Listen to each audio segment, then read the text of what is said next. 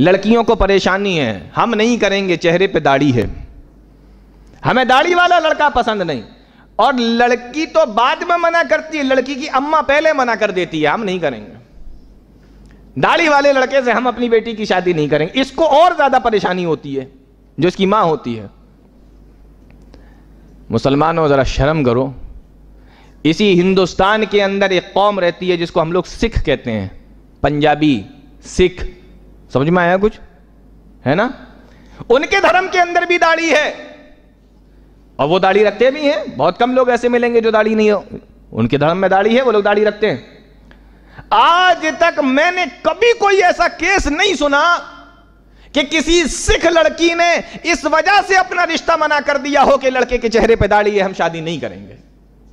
लेकिन मैं कितने वाकयात ऐसे सुन चुका हूँ कि मुसलमान लड़की ने सिर्फ़ इस वजह से रिश्ते के लिए मना कर दिया क्योंकि लड़के के चेहरे पे दाढ़ी है।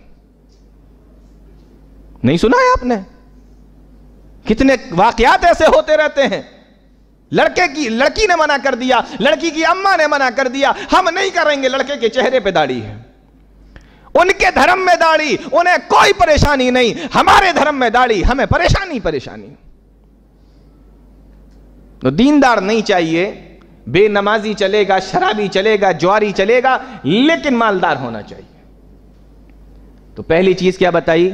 जब तुम्हारे पास में कोई रिश्ता आए तो उसकी दीनदारी को देखो। इजा खतबा इलई को मन तरजो न दीन हो उसके दीन को देखो।